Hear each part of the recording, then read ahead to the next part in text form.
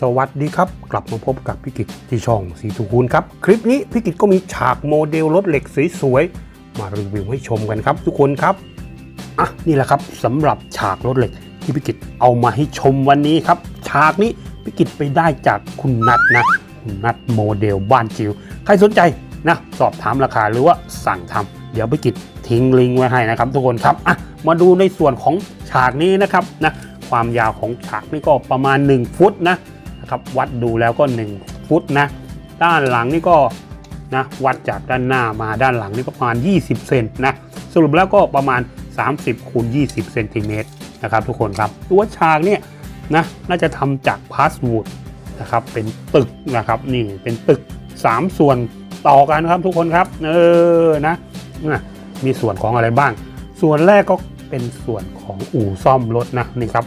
ข้างในอู่เนี่ยนะเราก็จะเห็นอุปกรณ์การช่างนะมียางวางอยู่ครับทุกคนข้างในก็จะมีจักรยานด้วยนะมีจักรยานคันเล็กๆคันหนึ่งนะครับนี่ครับแล้วก็จะมีป้ายโฆษณาด้านหน้า รับซ่อมรถยนต์ แล้วก็ป้ายบิสโตนนะโตโยต้านะครับนี่อยู่ด้านบนนะครับตึกที่ 2 จะเป็นตึกคล้ายๆกับร้านขายก๋วยเตี๋ยวหรือเปล่าวิกิตไม่แน่ใจนะน่าจะเป็นร้านขายก๋วยเตี๋ยวนะ มีป้ายโฆษณาเครื่องดื่มอยู่ข้างหน้านะครับนี่ครับโอ้โหแล้วก็จะมีโต๊ะรับประทานอาหารอยู่ 2 โต๊ะแม้รายละเอียดดีใช้ได้นะครับ ข้างหน้าก็จะเป็นคล้ายๆกับตู้ขายอาหารนะครับเออนะในส่วนของข้างบน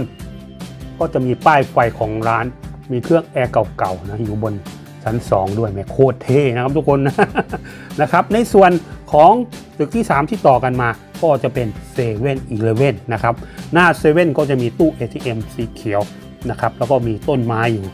1 ต้นนะครับนี่ครับ แล้วก็ป้าย7 e เ e ่ e นะครับ เปิดไฟสว่างนะครับสำหรับ7 e เ e ่ e นี่ก็จะยาวมามองได้ 2 ด้านเลยครับทุกคนครับนี่ครับนะนี่ก็จะเป็นสวิตช์เปิดปิดไฟก็จะเป็นไฟของป้ายไฟหน้าร้านนะครับนี่ครับป้ายไฟเซเว่นอีเลเว่นนี่ครับ อึบอ่านี่ปิดไฟนะอันนี้เปิดไฟ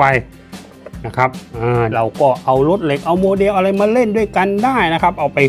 ถ่ายรูปกับฉากแม่งโคตรสวยเลยนะเออหาของมาถ่ายรูปมาจัดฉากเล่นเท่ๆสวยๆเข้ากันเข้ากันนะครับ